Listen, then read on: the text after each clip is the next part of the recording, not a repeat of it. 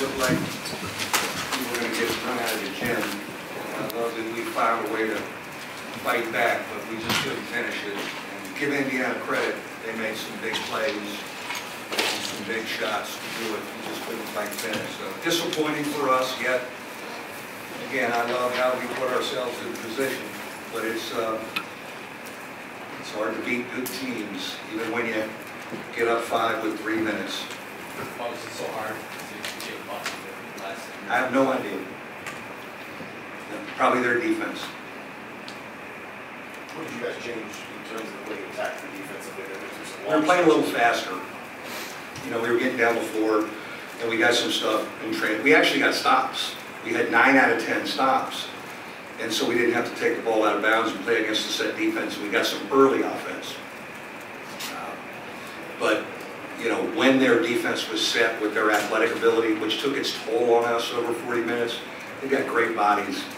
It kind of, it was hard to get anything good. Um, And again, I love how we gave ourselves a shot, but, uh, you know, let's see if we can finish better. Went down by 17, what was said in the huddle that ignited, the You know- You know, those guys, I mean, we gotta, you know, I think it was more our, you know, our old guys talking, I mean, our, they- you know, their leadership's good, guys were, I kept, it's a long game, you know, there was a lot of time left when you were down 17. There were gonna be a lot of possessions.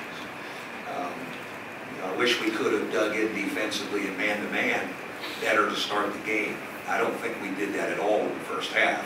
And so now you're digging out of a hole. And sometimes you almost don't deserve to win when you've played defense for 15 minutes instead of 32.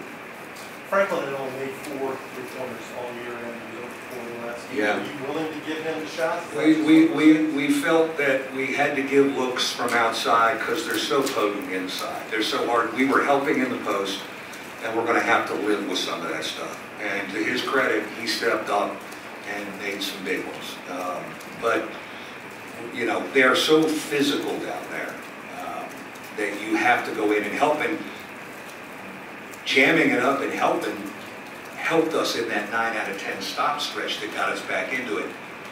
But the big possession, when they swung it around to him, kind of, I almost felt like we maybe violated the basketball gods a little too much and not guarded the arc. And he rose up, he's the one who hit the corner, right? He rose up and made a big one. It's a big time play. Have a great holiday season. We'll see you after Christmas.